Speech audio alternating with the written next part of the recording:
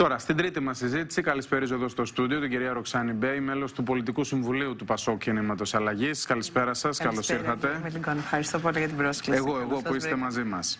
Ε, ένα πρώτο σχόλιο για αυτό το οποίο ακούσαμε από τον Πρωθυπουργό στην δημόσια τηλεόραση, δηλαδή την προτροπή προς τους ε, υπερχρεωμένους δανειολήπτες να τα βρίσκουν με τα, με τα funds, να, να, να βρουν μια λύση τα funds και το όλο πλαίσιο με το, το οποίο εισήγαγε τα funds τέλος πάντων στην όλη μας συζήτηση αυτή τη στιγμή και στη συζήτηση για τους ε, αδύναμους ε, δανειολήπτε και γενικά τα υπερχρεωμένα ευάλωτα νοικοκυριά.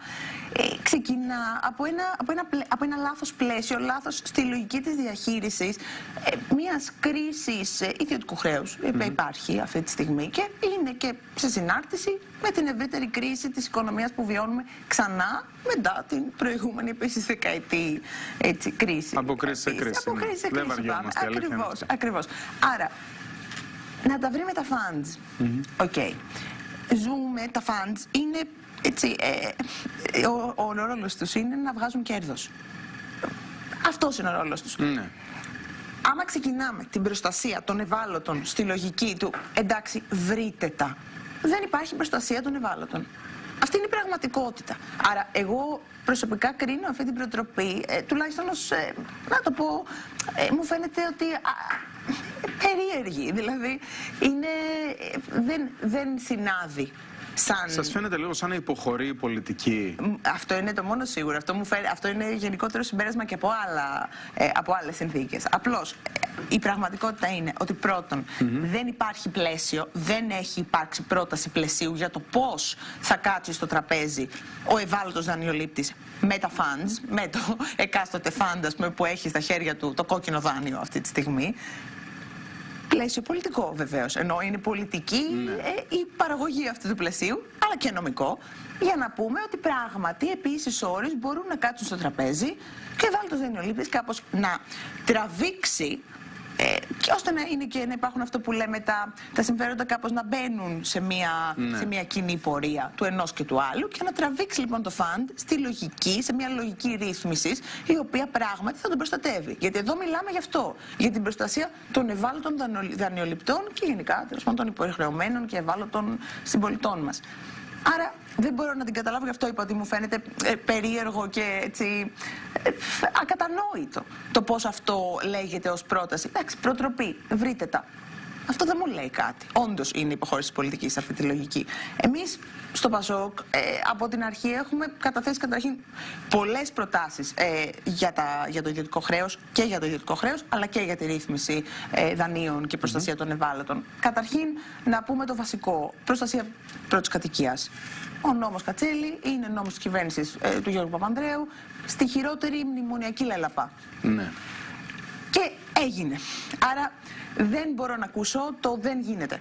Δεν μπορώ να το ακούσω. Απ' την άλλη, αυτή τη στιγμή ο εξοδικαστικός μηχανισμός και το ισχύον πλαίσιο δεν προστατεύει. Γιατί, Γιατί βλέπουμε ότι έχουμε, νομίζω, επί 50.000 πληστηριασμοί ε, το, το φετινό χρόνο. Ναι, ναι, ναι. Τόσο είναι ο προγραμματισμό. Και είναι, νομίζω, ε, περί τους 20, ε, δεν θυμάμαι τώρα τον ακριβή αριθμό, αλλά μιλάμε για διψήφιο αριθμό των, ε, ε, των δανειοληπτών, των ευάλωτων δανειοληπτών, πούμε, που έχουν μπει στην ρύθμιση τα νούμερα μιλάνε από μόνα τους. Πώς μπορεί να λειτουργεί λοιπόν; Δηλαδή, δεν είναι, θέλω να πω, είναι απλά τα πράγματα πια. Είναι κα, καταφανές ότι δεν υπάρχει προστασία. Άρα, συν του ότι δεν είναι το ίδιο ποτέ ένας εξοδικαστικό μηχανισμός με την προστασία της πρώτης κατοικίας στη λογική που υπήρχε ε, με τον νόμο Κατσέλη. Έτσι. Ναι. Άρα, εγώ και εγώ θα δεχτώ, ναι. Γιατί το μόνο επιχείρημα είναι ότι υπάρχουν στρατηγικοί κακοπληρωτές. Υπάρχουν. Και σε κάθε χώρα υπάρχουν και σε κάθε οικονομία θα υπάρχουν αυτό δεν είναι καθιστά ας πούμε, ανέφικτο το να μπορείς να έχεις ένα πλαίσιο που προστατεύει τους πραγματικά ευάλωτους. Γιατί πλέον δεν ξέρω να πω αν είναι περισσότεροι ή μεν ή δε, αλλά σίγουρα είναι πολύ οι ευάλωτοι. Ε, δεν μπορεί κανείς να το αρνηθεί. Άρα δεν, ούτε αυτό το επιχείρημα στέκει πια κατά τη δική μου άποψη, στο δημόσιο διάλογο. Ε, και ούτως ή άλλως τώρα ε, ζούμε σε μια χώρα που για 10 χρόνια υποτίθεται ότι είχαμε χρεοκοπήσει επειδή δεν κόπηκαν απόδειξεις για τις απονοτηρόπιτε. Λίγο ξέρω εγώ να περάσουμε στην επόμενη Επίσης, φάση. Βγήκαμε από τα μνημόνια, mm -hmm. πανηγυρίσαμε κλπ. Ε, δεν, ε, ε, κάπου τελειώνει και το ότι εντάξει δεν γίνεται να το κάνουμε. Εγώ αντιλαμβάνομαι.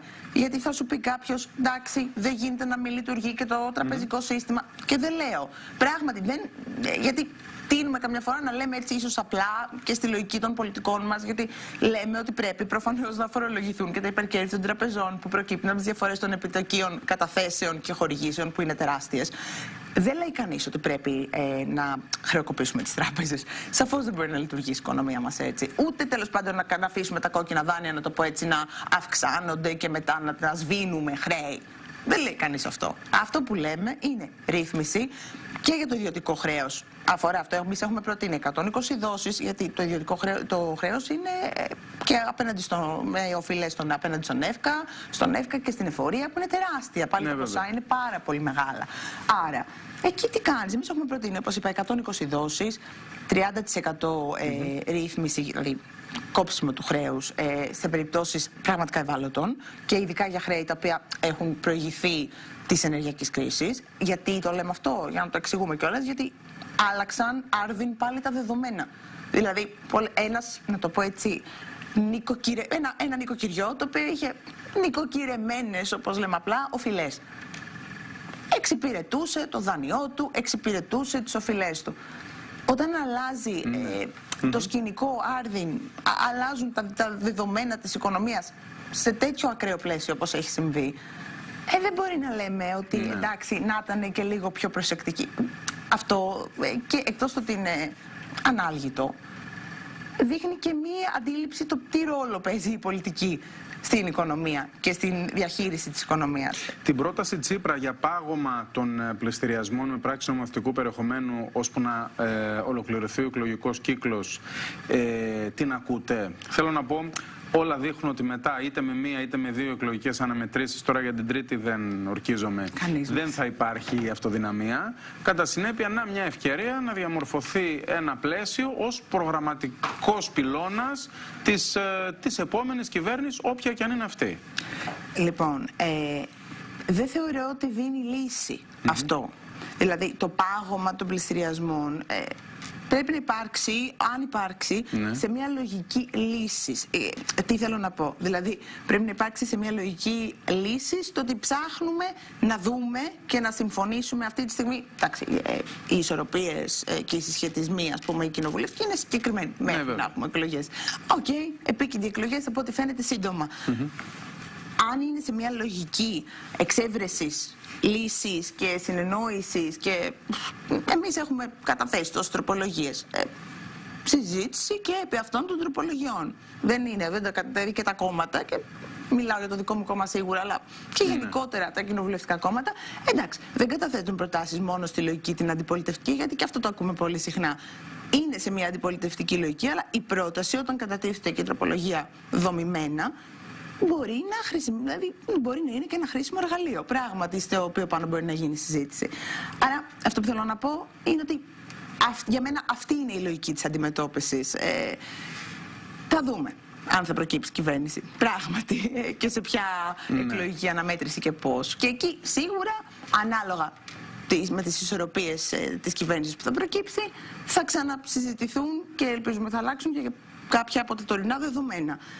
Ε, αυτό βέβαια μας οδηγεί και στη συζήτηση να το πω έτσι, των προγραμ του προγράμματος και του, των προγραμματικών συγκλήσεων που θα μπορέσουν να υπάρξουν και αν υπάρξουν. Ναι. Δηλαδή, Ας ελπίσουμε το... θα τα δούμε αυτά στην προεκλογική περίοδο. Αυτό. Κυρία Μπέη, θέλω να σας ρωτήσω... Προγραμματική συζήτηση. Θέλω να πω ότι είναι, ναι, ναι. Τόσο, είναι σημαντικό γιατί συζητάμε όλα τα θέματα, αλλά εκεί θα κρυθεί κιόλας. Αν υπάρξουν πραγματικά ναι. προγραμματικά πλαίσια και κόκκινες γραμμές. Τώρα, κυρία Μπέη, ε, θέλω να σας ρωτήσω το εξής, έτσι αναφορικά και με τις υποκλοπές. Ε, άκουσα χθες τον πρόεδρό σας στην Ολομέλεια της Ευρωβουλής ε, και συγκράτησα έτσι μία ε, ανακοίνωση κάπως, ε, ε, μια, μια αποστροφή του λόγου του έτσι κάπως περίεργη που θα ήθελα λίγο να μου την εξηγήσετε είπε ότι ένα σύστημα στο Μέγαρο Μαξίμου με επικεφαλής στον ανιψιό του Πρωθυπουργού κλπ παρακολουθούσε, έκανε κλπ. Το ίδιο δεν λέει και ο κύριος Μητσοτάκης. Θέλω να πω, γιατί εκτός κάδρου ο, ο Πρωθυπουργός, ο Δημητριάδης και ο Κοντολέων έφταιγαν εν τέλει για όλα; Δεν θα, εγώ δεν το αντιλαμβάνομαι έτσι, να σας είμαι ειλικρινή. Σας μιλάω πολύ ειλικρινά, αλλά όντως να το, να το αναλύσουμε. Ε, ο Δημητριάδης και ο Κοντολέων, ε, εν προκειμένου, μια και υπήρξαν και οι παρετήσεις συγκεκριμένες, σίγουρα είχαν ανάμειξη. Αυτό κατά κάποιο τρόπο ήταν και παραδοχή της ίδιας της κυβέρνησης. Ναι. Η πολιτική ευθύνη είναι άλλο ζήτημα. Και νομίζω πως αυτό ήμασταν και από την αρχή ξεκάθαροι. Ο, από τη στιγμή Μάλιστα. που η ΑΕΠ είχε υπαχθεί ε, υπό τον Πρωθυπουργό και ήταν στο Μέγαρο Μαξίμου, η πολιτική ευθύνη έχει όνομα.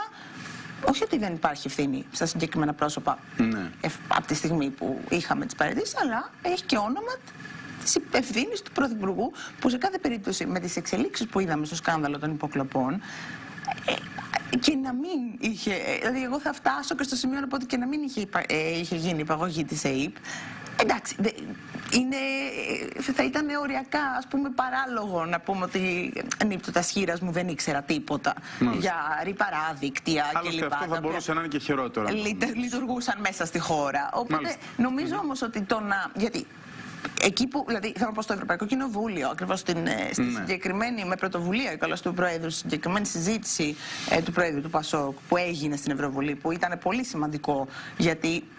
Αν θέλετε παρήγαγε αποτελέσματα Ε, βέβαια. ε, πραγματικά του να αναγνωριστεί η ανάγκη και σε επίπεδο Ευρωπαϊκής Ένωσης προστασίας των θεσμών, ε, Ναι. ελέγχου ε, των θεσμών σε κάθε χώρα. Γιατί βλέπουμε ότι χρειάζεται.